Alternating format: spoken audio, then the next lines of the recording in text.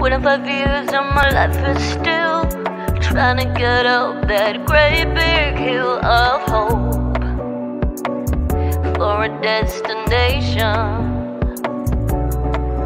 I realized quickly when I knew I should that the world was made up of this brother.